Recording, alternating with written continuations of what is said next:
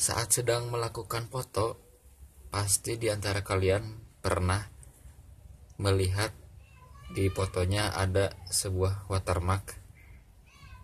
Nah, seperti ini.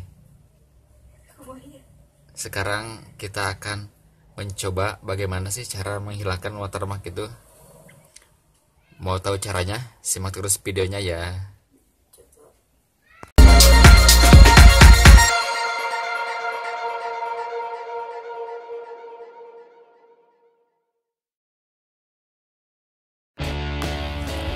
Oke, langsung saja kita masuk ke tutorialnya ya guys.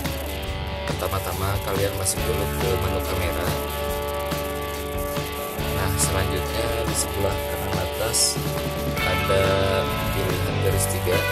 Kalian klik. Selanjutnya pilih setelan.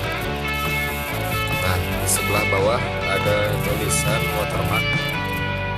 Klik. Yang asalnya hidup kalian tinggal geser sedikit ke kiri guys. Untuk menonaktifkan nah sudah. Sekarang kita coba lagi ya memotret foto apakah ada tanda watermarknya atau tidak. Sekarang kita coba.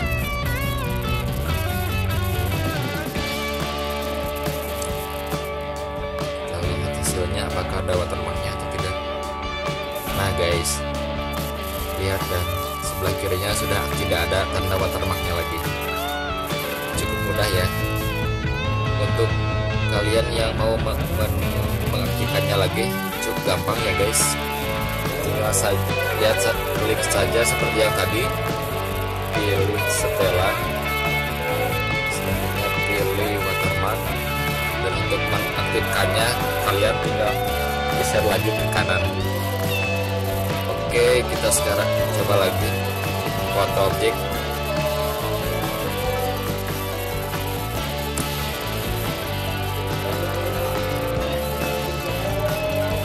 nah guys sekarang tanda watermarknya muncul lagi. Gimana? Mudah kan? Oke selamat mencoba ya. Semoga tutorial ini bermanfaat. Bye bye